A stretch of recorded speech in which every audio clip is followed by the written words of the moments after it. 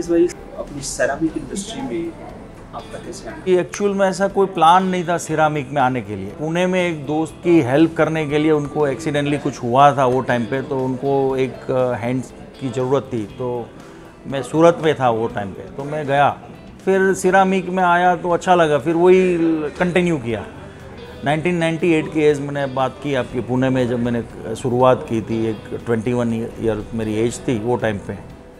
तो accidentally you can say that दो साल के बाद हमने एक नासिक में एक अ, नया शोरूम ओपन किया warehouse you can say with the Simpolo वो टाइम पे सिम्पोलो हुआ नहीं करता था वो टाइम पे थे सिल्वर ब्रांड तो सिल्वर ब्रांड 1999 से हम लोग सिल्वर से जुड़े हुए हैं.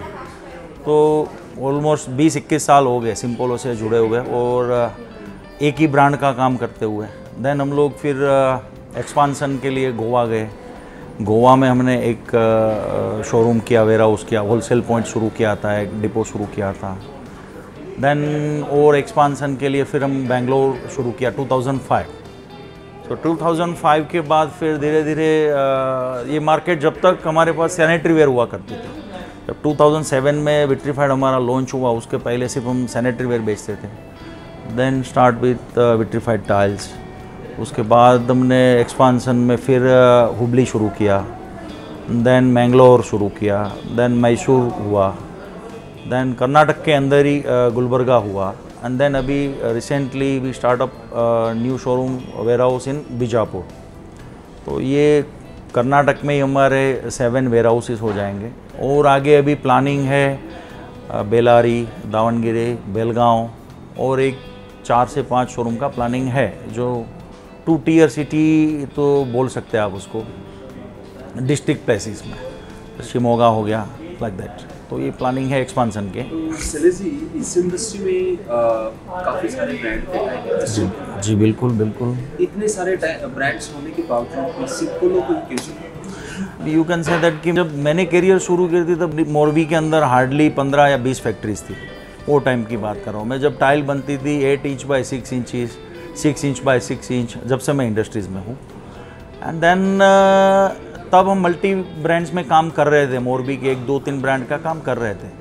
1999 और 2000 में हमने नासिक में जब शुरू किया, तब सिल्वर ब्रांड के साथ काम शुरू किया था सिम्पोलो का पुराना ब्रांड तो वो टाइम से जब सिम्पोलो का काम शुरू किया हमने, तब एक, बोलते हैं ना, एक वेवलेंथ मैच हो गई।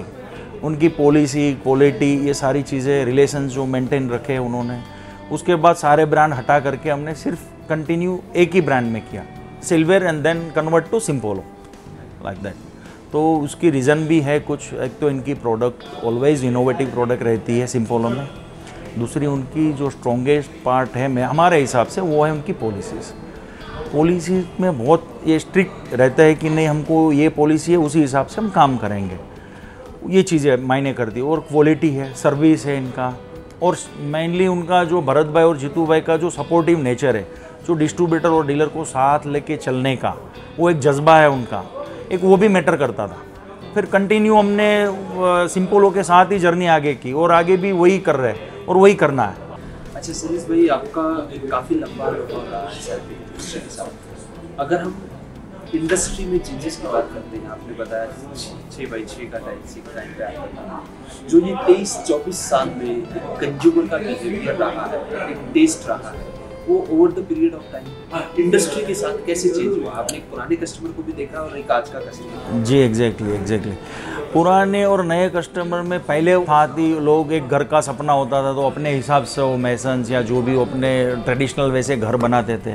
तब टाइल छोटी तब वो लोग टाइल्स में एक ही वो सोचते थे, टाइल माने बाथरूम को कवर करना है, उतना ही था। तब ये लाइफस्टाइल प्रोडक्ट नहीं हुआ करती थी। धीरे धीरे धीरे नए नए चीज़ें, जैसे इनोवेटिव हम भी इंडस्ट्रीज़ भी काफ़ी इनोवेटिव चेंज लाते गए।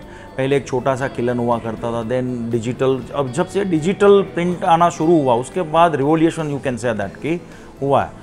उसके बाद it's become a lifestyle product then अभी लोग पहले ये था कि घर में वो लोकल स्टोन्स लगा लेते थे, या अपने हिसाब से वो कर लेते थे। बट अभी हर किसी को चाहिए अच्छा घर बनाना। तो अच्छा घर बनना है तो आपको टाइल चाहिए ही चाहिए। तो नई जनरेशन के साथ, नए इनोवेशन के साथ अब लोग भी धीरे धीरे धीरे धीरे क्या मतलब अभी चेंज ही हो गया। अब तो हर कोई घर बनाने के लिए जब भी पहला ही उनके दिमाग में टाइल आता है कि भाई क्या टाइल लगाएँगे हम लाइक दैट तो अभी और काफ़ी पुराने में काफ़ी फ़र्क था। पहले एक नेसेसिटी हुआ करती थी now it is a life style product then product में किस तरीके का इनोवेशन आया है इन टर्म्स ऑफ़ साइजेज और डिज़ाइन आज का क्या ट्रेंड उसके बारे में आज का ट्रेंड पहले से ज़्यादा कंपैरेटिवली पहले जब डिजिटल आया तब सिर्फ़ डिजिटल चला हुआ। अब सरफेस पे चले गए। अब लोग जो आ रहे हैं धीरे धीरे सरफेस पे अ, काम कर रहे हैं। अब आर एन डी कर रहे हैं। नए नए जैसे सिंपोलो ने पोस्ट सरफेस लॉन्च किया सागा सरफेस लॉन्च किया। Different different kind of surface launch हुआ।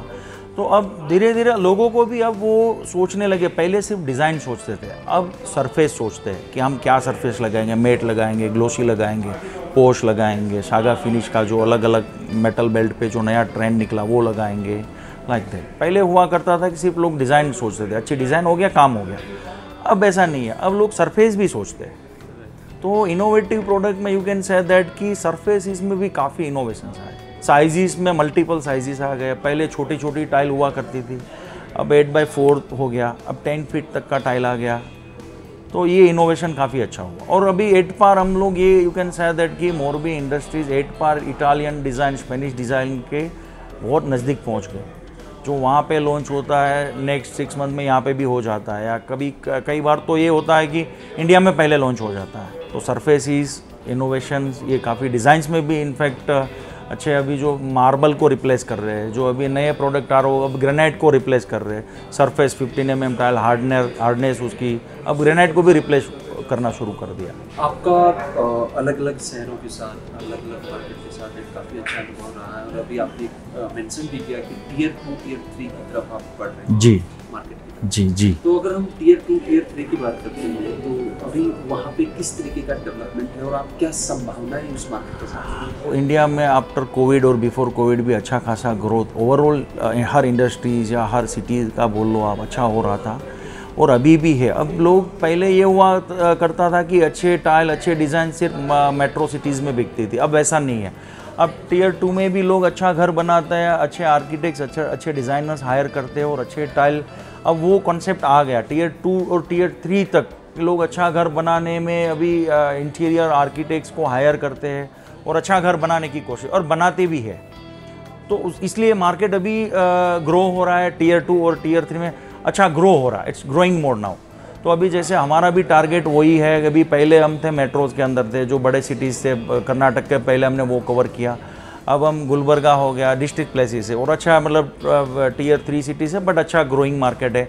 अभी हमारा नेक्स्ट बेलगांव है, बेलारी है, शिमोगा है, दावनगिरी है नेक्स्ट प्लान है हमारा कि हम वो सेंटर के अंदर भी हम हमारा ओन शोरूम बनाएँगे वेयर हाउस के साथ में।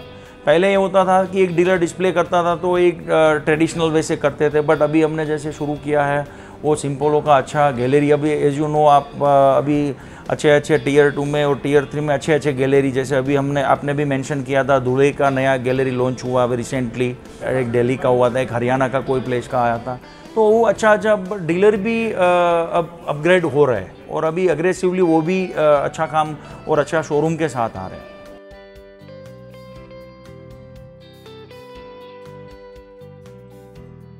अगर हम डिमांड की बात। मार्केट में मटेरियल डिमांड तो वो किस सेक्टर से अभी डिमांड जनरेट हो रही है इस पे थोड़ा अभी जो हमारा एज पर सर्वे के हिसाब से अभी इंडिया के अंदर टाइल का कंजप्शन कंपैरेटिवली यूएस और चाइना हमारा बहुत कम है। तो आगे डिमांड 100 परसेंट बढ़ने वाला है। यू कैन शेयर दैट कि हाउसिंग इंडस्ट्रीज़ से सबसे बड़ा सपोर्ट है। अच्छे अच्छे प्रोजेक्ट्स लॉन्च हो रहे हैं और प्रोजेक्ट्स आउट भी हो रहे हैं।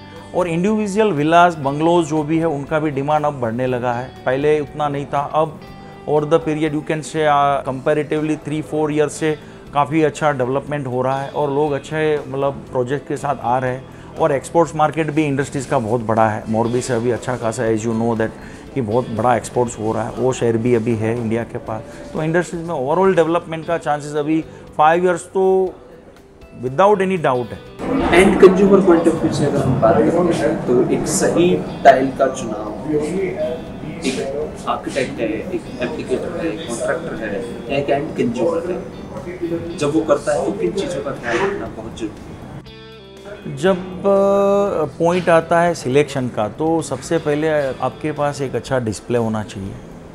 उसके बाद आपके पास अच्छे सेल्स एग्जीक्यूटिव जो उनको बेटर समझा सके कि आपके घर के हिसाब से आपके लिए क्या सूटेबल है और आपके बजट के हिसाब से आपके पास कौन सा टाइल आपको सूटेबल है।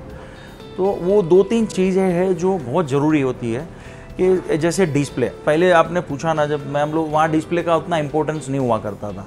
हम दिखाया टाइल ठीक है, वो या एक पैनल लगा दिया, उसमें काम हो जाता तब उतने डिज़ाइन भी नहीं थे। अब डिज़ाइन भी बहुत हो गए और साइजेस भी मल्टीपल हो गए। तो डेफिनेटली आपको डिस्प्ले करना ही पड़ेगा। एक एम्बियंस आपको क्रिएट करना ही पड़ेगा। देन ओनली आर्किटेक्ट को और कस्टमर्स को ईजी हो जाएगा टाइल सिलेक्शन के लिए। जैसे अभी ट्रेंड है कि आप मोकअप बनाना पड़ेगा आपको। हर चीज़ का एक बाथरूम का किचन का, हर चीज़ का आपको एक मोकअप बनाना पड़ेगा। देन ओनली आर्किटेक्ट के लिए even the customer and user direct walking customer के लिए भी ईजी हो जाएगा टाइल सिलेक्शन के लिए। तो आई कैन से दैट कि एक डिस्प्ले सेंटर बहुत ही मायने रखता है ये इंडस्ट्रीज़ में। उसके बाद ही आगे का काम आपके आसान होंगे।